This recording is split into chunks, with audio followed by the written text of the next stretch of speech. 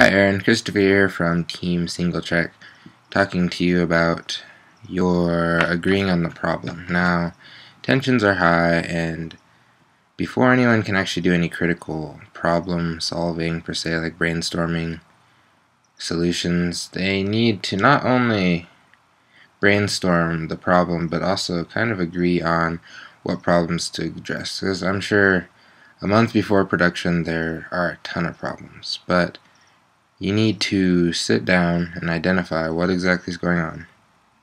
And then using effective communication, you need to make sure that the artist and the other designers are on the same level on what to address problem-wise.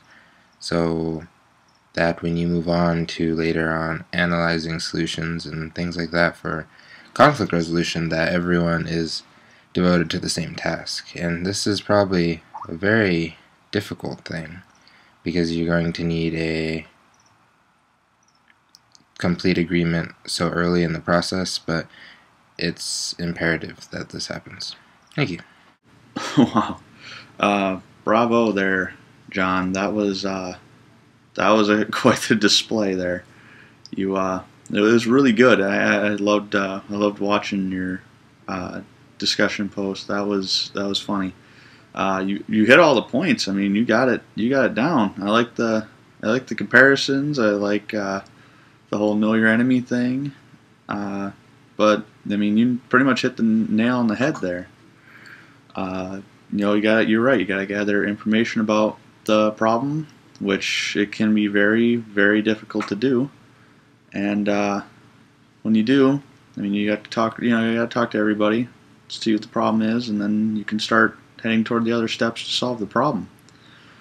Uh, but like I said, bravo, man, that was that was good. I liked it. Uh, a plus for me. Yo, Julian, it's Nick. What's up, man? From Team Singletrack.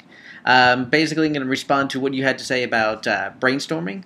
I do agree that there needs to be more than one or two ideas that come out of brainstorming, but your discussion, I didn't really get anything out of it. You know, no knowledge, you know, no steps or no approach that you can start the whole brainstorming situation.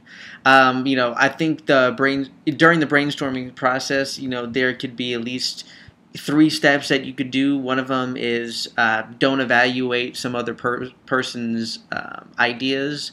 You know that just makes you know that creates more tension. And obviously, if you're in the middle of conflict resolution, uh, there's already a lot of tension to begin with.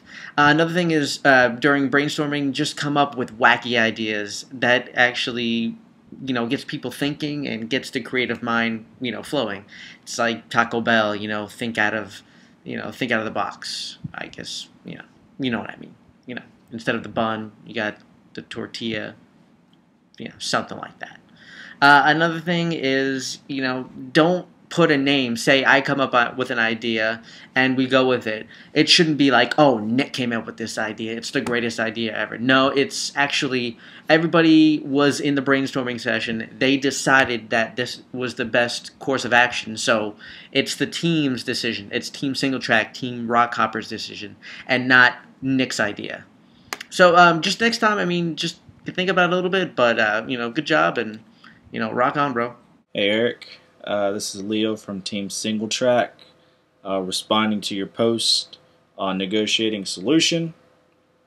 And uh, your post on negotiated solution was on point.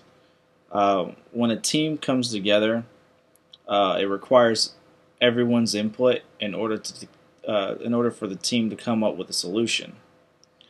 when a solution can't be made, uh, then a deal needs to be uh, made with both sides to come up or to make basically everyone happy. Uh, but other than that, man, your post was pretty much it was on point. You did a great job. Everyone, this is Leo with Team Singletrack, reporting out for the month. Good luck, everybody. See you guys in the future.